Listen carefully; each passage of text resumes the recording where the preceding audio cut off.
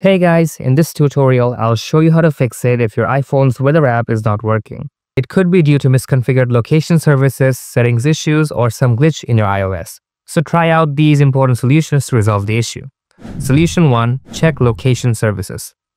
Open your phone settings, then scroll down, and tap on privacy and security. After that, select location services.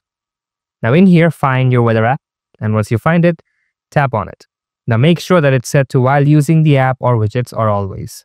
If it's set to this, then it's all fine, but if not, then just switch between these two and check your issue again. Solution 2. Offload and restart the weather app.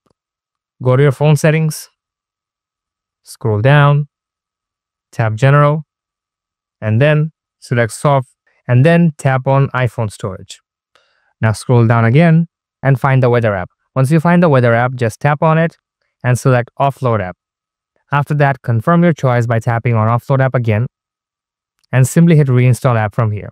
Once you reinstall the app, hopefully the bug problem will be solved and the weather app should start working properly again. But if it's still not working, then you can try the next few solutions. Solution 3. Enable background data for weather app.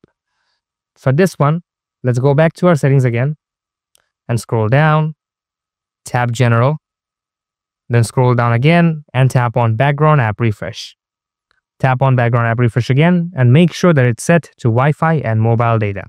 After that, just go back and find the weather app from here and make sure that it's set enabled for background app refresh. If you have made sure of that, just get out of from here and check your issue again.